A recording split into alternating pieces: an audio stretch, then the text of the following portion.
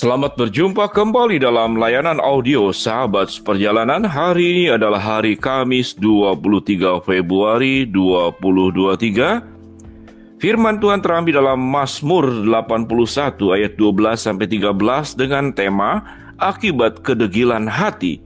Firman Tuhan berbunyi, "Tetapi umatku tidak mendengarkan suaraku dan Israel tidak suka kepadaku. Sebab itu aku membiarkan dia dalam kedegilan hatinya." biarlah mereka berjalan mengikuti rencananya sendiri. Mari kita berdoa. Bapa yang di dalam surga, kami bersyukur bahwa Tuhan memberikan free will kehendak bebas untuk memilih dan memutuskan dalam hidup kami. Biarlah dalam kami mengambil keputusan dan pilihan, maka keputusan dan pilihan hidup kami adalah sesuai dengan kehendak-Mu. Dalam nama Tuhan Yesus kami berdoa. Amin. Shalom sahabat seperjalanan yang dikasih Tuhan. Temanya adalah akibat kedegilan hati. Kata kedegilan kita bisa berikan pengertian pemahaman satu dengan yang lain mungkin bisa berbeda dengan bahasa masing-masing. Degil hati bisa kita sebut sebagai keras kepala. Degil hati bisa kita sebut sebagai bangsa yang tegar tengkuk seperti yang dikenakan kepada bangsa Israel. Tatkala Allah memanggil, maka dia tidak pernah menoleh. Tatkala Tuhan mengingatkan, maka dia tidak pernah menurut. Tatkala Tuhan memberikan arah yang benar, maka yang dicari justru adalah arah yang berlawanan. Itu mungkin adalah gambaran tentang kedegilan hati. Kedegilan hati pada bagian ini adalah dikaitkan dengan ketika umatku tidak mendengarkan suaraku dan Israel tidak suka kepadaku. Ada dua kata di sini, yaitu tidak mendengarkan dan tidak suka.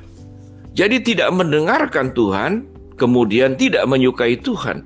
Ini hal yang sangat wajar. Kalau kita tidak suka kepada seseorang, kita tidak pernah akan dengarkan suaranya. Bahkan kita akan melakukan sesuatu yang berlawanan dengan apa yang diinginkannya. Itu adalah gambaran daripada tentang kedegilan hati. Kedegilan hati artinya dia akan melakukan sesuatu yang memang berbeda jauh daripada yang seharusnya. Itu disebut dengan kedegilan hati. Tatkala diperintahkan taat, justru dia melanggar. Tatkala diperintahkan berjalan, justru dia diam. Tatkala diperintahkan diam, maka dia kemudian berjalan. Bayangkan kalau ini terjadi dalam keluarga kita, dalam rumah tangga kita, kita bertemu dengan anak. Ada namanya good boy, ada namanya bad boy. Anak-anak yang baik adalah Bahkan sebelum diberikan nasihat, dia sudah tahu orang tuanya akan memberikan nasihat seperti apa. Bahkan sebelum nasihat diberikan, dia sudah melakukannya. Bukankah ini menyukakan dan membahagiakan sekali dari orang tua? Namun sahabat seperjalanan yang sudah berumah tangga, yang punya anak, yang punya cucu, kemudian bertemu dengan anggota keluarga kita yang seperti demikian, yang masuk dalam kelompok kedegilan hati. Apa yang diminta, apa yang baik tidak dilakukan, justru dilanggar. Sementara apa yang dilarang, justru itulah yang dilakukan. Itu masuk dalam kelompok kedegilan hati. Sehingga sahabat seperjalanan, kalau saya boleh mengatakan kata kedegilan itu dibahasakan dengan bahasa yang lebih dipahami, yaitu kenakalan. Bukankah kita sebagai anak-anak Tuhan sering kali juga berlaku nakal di hadapan Tuhan? Berlaku nakal. Perintah Tuhan memberikan perpuluhan. Namun kita punya alasan potong lagi, potong lagi, potong lagi, akhirnya tinggal seperseratus.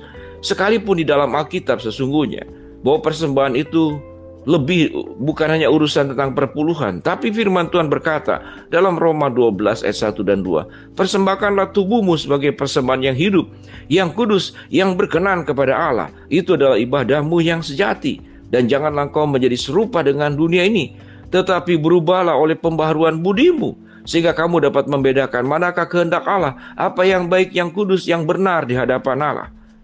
Sesungguhnya persembahan yang terbaik dan yang holistik dan menyeluruh adalah kehidupan kita yang benar.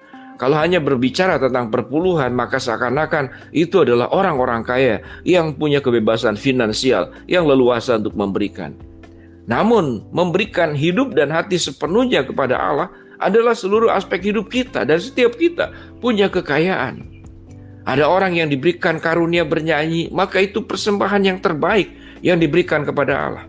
Ada orang yang senang berkunjung, membusuk, memperhatikan orang-orang sulit. namun ekonomi dia mungkin juga kurang bagus. Tapi itulah persembahan perpuluhan. Jadi orang-orang yang degil hati, dia akan melawan, akan melakukan sesuatu yang berbeda dengan apa yang diminta, yang berbeda dengan apa yang diperintahkan. Itulah yang dikatakan dalam Mazmur 81 12 sampai 13. Tetapi umatku tidak mendengarkan suaraku dan Israel tidak suka kepadaku. Sebab itu aku membiarkan dia dalam kedegilan hatinya. Biarlah mereka berjalan mengikuti rencananya sendiri.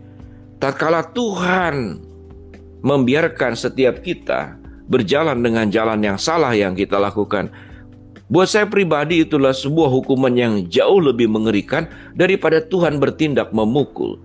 Tuhan bertindak mengizinkan sebuah cambukan dalam hidup kita agar kita kembali kepada jalan yang benar.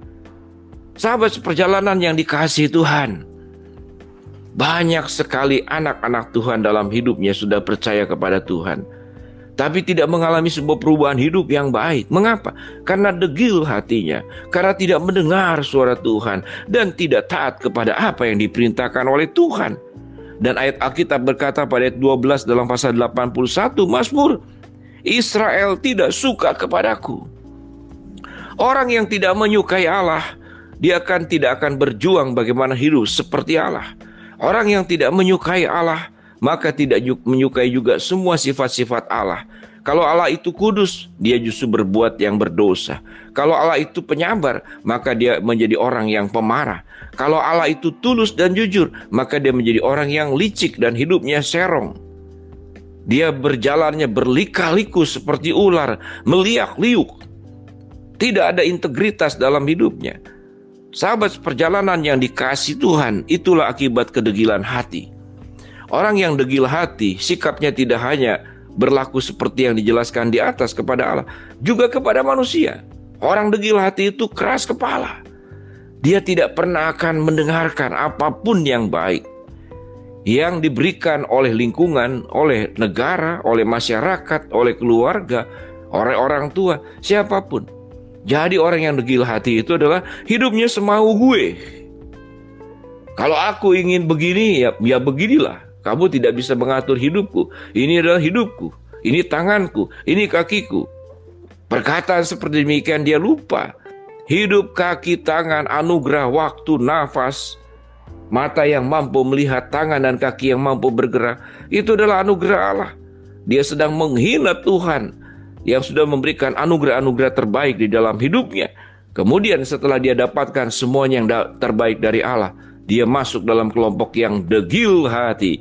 Dia tidak dengar suara Tuhan dan dia juga tidak menyukai Tuhan. Itu yang dicatat dalam Mazmur 81. Sahabat seperjalanan, kalau ada sifat-sifat seperti demikian, ada pada diri sahabat seperjalanan, disadari atau tidak, maka berubahlah mulai hari ini. Agar kita mendapatkan kebaikan-kebaikan Allah, anugerah-anugerah Allah, agar hidup kita benar di dalam jalannya Allah, maka berhentilah. Jangan memupuk, menyimpan sifat-sifat kedegilan hati. Mari kita berdoa. Bapa dalam surga terima kasih buat kebenaran firman Allah yang memberikan kepada kami pencerahan, agar kami terhindar daripada sikap berdosa yaitu kedegilan hati. Hambamu berdoa buat sahabat perjalanan yang sedang sakit Tuhan jamah sembuhkan. Sahabat perjalanan yang sedang menghadapi masalah Tuhan bukakan jalan. Sahabat perjalanan yang sedang memohon berharap sesuatu. Tuhan kabulkan sesuai dengan waktu, rencana, dan kehendakmu.